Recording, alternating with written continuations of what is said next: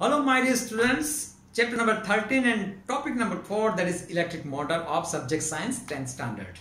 Electric motor, this is the very common item that we used to see in our household appliances, right? This is the electric motor which we generally use to keep, to drag water from sump to lift it up to our water tank, isn't it?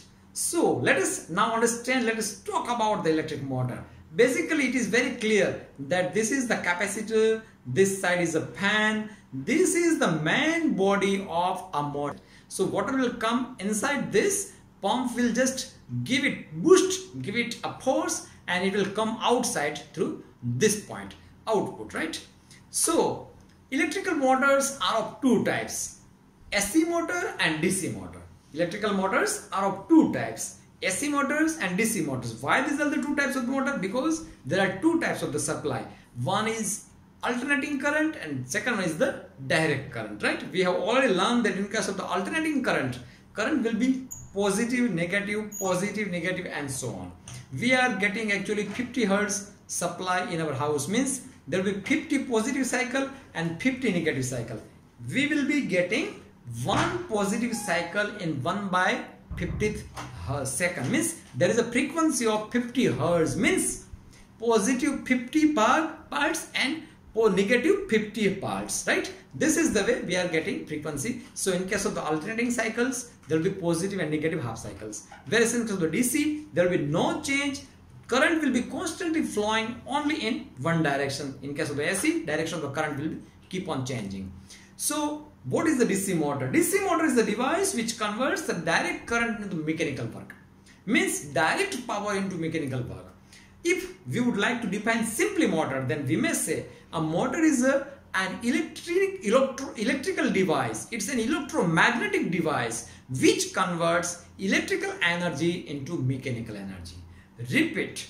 What is the electrical motor? Electrical motor is an electromagnetic device or simply electric device which converts electrical energy into mechanical energy. Here we are talking about the DC motor so I have used the word DC motor. Otherwise in exam you will have to simply write an electrical motor is an electrical device or electromagnetic device which converts the electrical energy into mechanical energy. So simply transformation of electrical energy comes transformation of electrical energy will take place into mechanical energy and it works on the principle which states that the current carrying conductor placed in a magnetic field experiences a force. Actually, this statement was given by the Lorentz.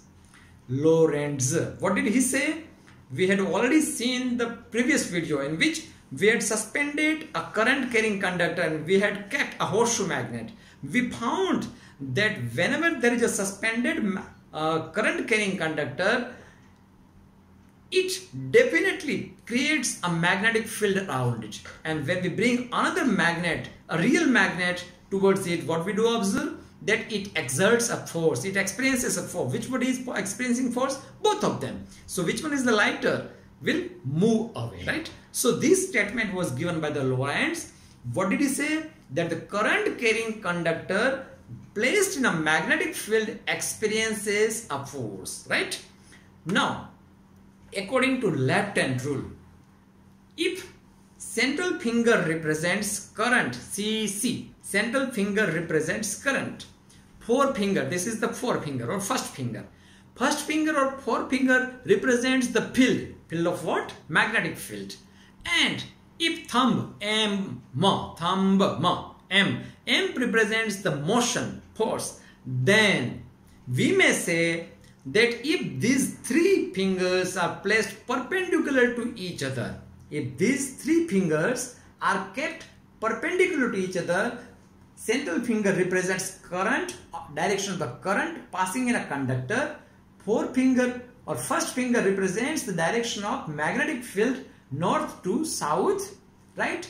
And then the force which will be experienced by this current carrying conductor will be given by this direction of thumb. Now let us try to understand that in a real way.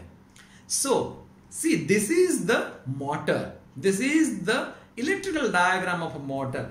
It is very clear that this is the north pole and this is the south pole. So definitely the direction of the magnetic force, direction of the magnetic lines of force will be from north to south. Direction will be from this north to south. Now, so this is the direction of magnetic force. So F, F represents the direction of the magnetic field. Now, let us talk about this conductor. Let us talk about the conductor which is near the south pole, right? If current is say passing in upward direction, this direction, because say this is the positive terminal of battery, it will pass through a brush, commutator and then it will flow like this so when current will start up in upward direction inside the paper, inside the screen this way. So if this is the direction of the field, now what is the direction of the field? Direction of field that is first finger. First finger north, this side north and this side south. north south direction of the field. Central finger current is going inside the paper. Current is going inside the screen. So inside towards you. So if this represents central finger that is current that is going towards this direction field this direction then that conductor will experience force in upward direction then this conductor will experience force in upward direction it is very clear you can see that yes it is experience it is experiencing force in the upward direction. Now let us talk about this conductor which is towards the north pole. Again this is the direction of field right north to south. Now current. Now the current is in this uh, towards the uh, this south pole. It was in upward direction. Now it travels like this and the direction is changed. The direction is coming out of the paper or coming out of the screen right? Like this. See this is the direction of the current. This is the upward direction then transfer direction then it will be coming out of the paper or coming out of the screen. Means towards out of the screen. So four finger field is the same. Current is something like this. Current direction of field current is something like this right. So now this motion will be represented by thumb like this. So direction of movement of this conductor will be towards direct toward downward direction. So if we now combine both this direction we can easily observe that the conductor towards the south pole will experience upward force and conductor towards the north pole will start facing downward force. So what will happen? This coil will try to rotate. This coil will try to rotate and when it will rotate half away, when it will rotate half away, situation will again be reversed. Why? Because now the conductor which was getting current like this has been shifted towards the S pole. So now it will start getting current in this direction. So now it will start again getting this direction force, right? So in this way, this coil will start rotating like this. And why it is rotating? Because it is a current carrying conductor, it is a current carrying coil placed in a magnetic field and according to Lorentz law, whenever there is a current carrying conductor placed in a magnetic field, the current carrying conductor will experience a force and it will start moving. In this case, it will start rotating, right? And what do we observe? We observe something like this that whenever there is a magnetic field, whenever there is a current carrying conductor, it will start rotating. Means electrical energy has been converted into mechanical energy. And this is the way we can understand that you can see, see this is the North Pole and South Pole. So you can find out the direction with the help of the Fleming's left hand rule, right? Finger field, central finger current and motion, right? So you try now just pause the video, stop the video and try to find out the direction. I have kept it just opposite to what I had given example so that you can try by your own and you can verify the direction of movement of this current carrying conductor or current carrying coil. Just try to uh, do this example by your own. So now let us talk about the commercial motor. What we had learned so far is that of the ideal motor. Now let us talk about the commercial motor which we used to see in our homes. Actually, electromagnets are used in place of permanent magnets. Actually, we had seen that there were permanent magnet N and S, but in real practice, we don't put permanent magnets. Then becomes very costly and very heavy in the nature. So we you actually put electromagnets means electricity used to make the poles N and S and one more part of electricity will be used to rotate the uh, coil right? To rotate the conductor. Large number of turns large numbers of the turns of the conducting wire in place of the current carrying coil.